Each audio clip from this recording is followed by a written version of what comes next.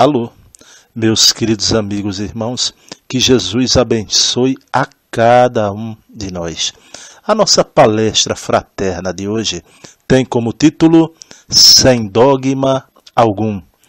Bem, meus amados irmãos, uma das maiores dificuldades da prática do Espiritismo, não da prática de sessões mediúnicas, mas falo da vivência espírita, da aplicação dos princípios doutrinários à vida prática reside na falta de compreensão dos objetivos da doutrina.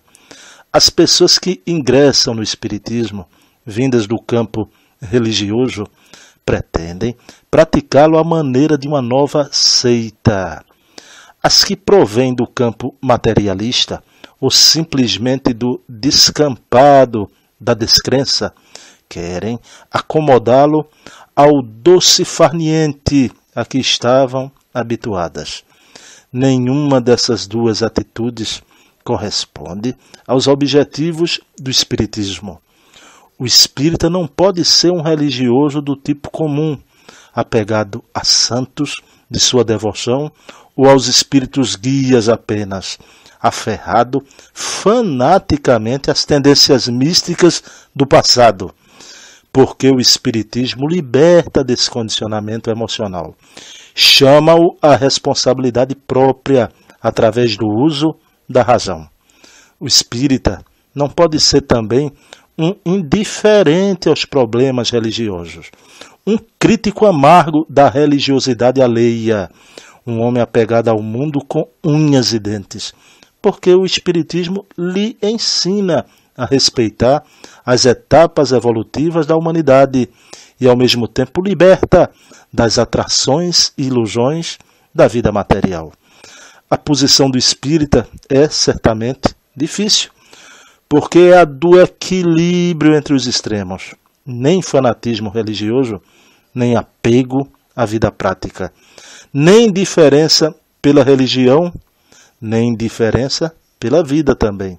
Por isso mesmo, os religiosos nos acusam de falta de religião e os materialistas nos acusam de fanáticos. Isso deve lembrar-nos a frase de Paulo, o apóstolo: Cristo crucificado é escândalo para os judeus e loucura para os gregos, conforme a primeira epístola aos Coríntios 1, 23. Os judeus não podiam compreender um Messias condenado. Como os gregos da época achavam loucura um Deus submetido à justiça humana. A posição do espírita é hoje escândalo para os religiosos e loucura para os homens de ciência do mundo, porque o espírita não se submete a dogma algum e a sacramentos da liturgia humana, como também não se perde na competição das glórias e conquistas meramente mundanas, consciente do processo evolutivo que o Espiritismo lhes ensina, o espírita só admite a fé raciocinada e por ela ele regula a sua conduta. Ok? Meus queridos irmãos, eu desejo a todos vocês um dia repleto repleto de luz. A ti, alma querida, te envio um beijo na alma, deixando aqui um abração fraterno do amigo Bruno Tavares. Paz e bem, que Jesus amanheça em nossos corações.